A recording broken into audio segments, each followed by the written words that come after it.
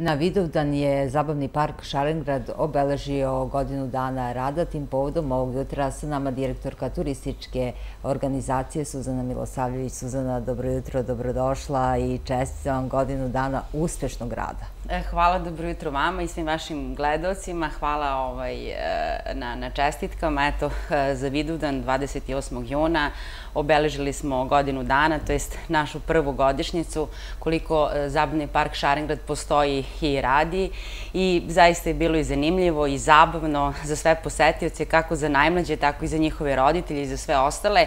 Imali smo zabavan i zanimljiv program. E, nastupili su e, glumci Kruševačkog e, pozorišta sa predstavom Tri praseta, zatim Deči hor kulturnog centra, naše kulturnog centra Kruševac i naravno imali smo one ovaj, animatore, animatore Mirror Crew iz Beograda, tako da je zaista bilo zabavno, veselo i na taj način smo i želeli da obeležimo ovu prvu godišnjicu.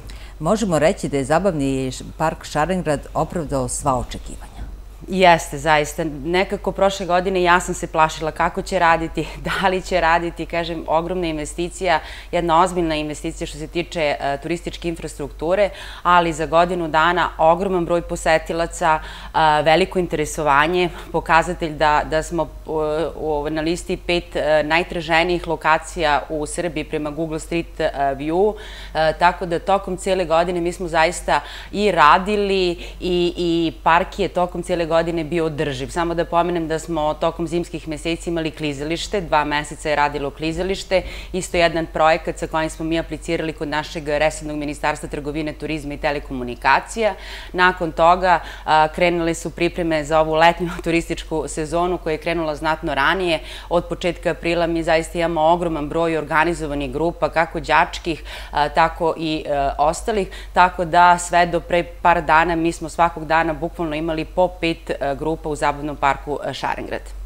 Suzana, pored Zabavnog parka Šarengrad, bio je tu i Viteški Megdan, srednjevekovno venčanje, dakle, zaista dosta aktivnosti turističke organizacije tokom vidovdanskih svečanosti. Kažem, ovaj, e, naša delatnost, naša ustanove turističke organizacije je znatno proširena, posebno prošle godine, e, otvaranjem ovog zabavnog parka Šarengrad, ali pre toga dve godine smo mi radili e, kako na projektu, tako i na izgradnje zabavnog parka Šarengrad, od ideje do realizacije, znači projekat je u potpunosti ovaj, bio pod, našem, pod našom ingerencijom, a naravno naravno ono što je osnovna naša delatnost jeste promocija svih tih nekih turističkih potencijala na teritoriji grada Kruševca i naravno i organizovanje manifestacija, tako da smo mi pre par godina, tačnije pre šest godina, pokrenuli dve manifestacije koje su zaista ovaj, postale ozbiljne i veoma posećene, a to je Viteški Megdan u Lazarevom gradu i Međunarodni festival balona Kruševac kroz oblake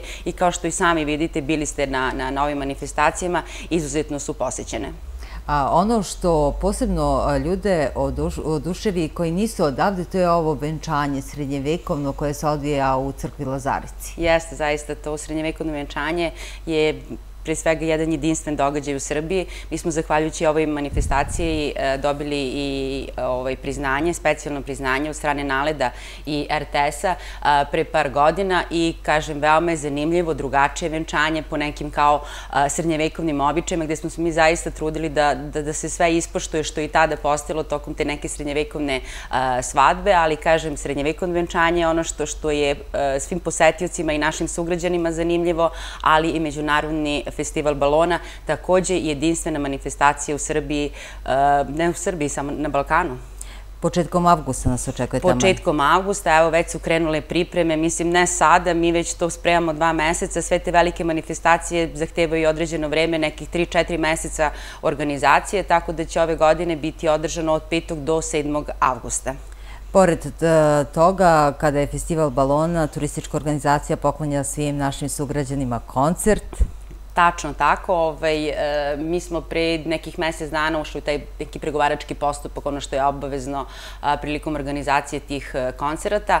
Tako da ovaj, e, za sada ono što je u planu, kažem, još uvek nismo najavili, najavit ćemo, nadam se, tokom sledeće nedelje, da će 5. augusta nastupiti Aco Pejović, a 6. augusta Tropico Band. I Suzana, ono što je aktualno posljednjih dana, to su voucheri, dakle, kako stojimo tu?